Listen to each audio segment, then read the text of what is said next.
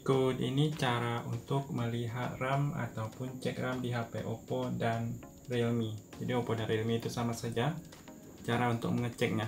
Pertama kalian bisa buka yang namanya pengaturan. Di sini ada dua cara. Nah, setelah masuk ke bagian pengaturan ini, pilih tentang perangkat atau tentang ponsel. Nah, di sini ada menu yang namanya RAM. Pilih RAM.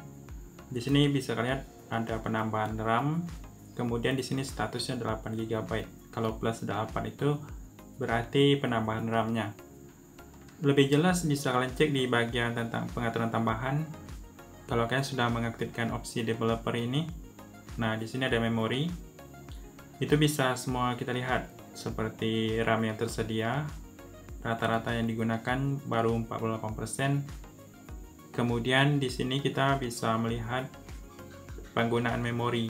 Jadi aplikasi apa saja yang menggunakan RAM kita. Ini ada TikTok.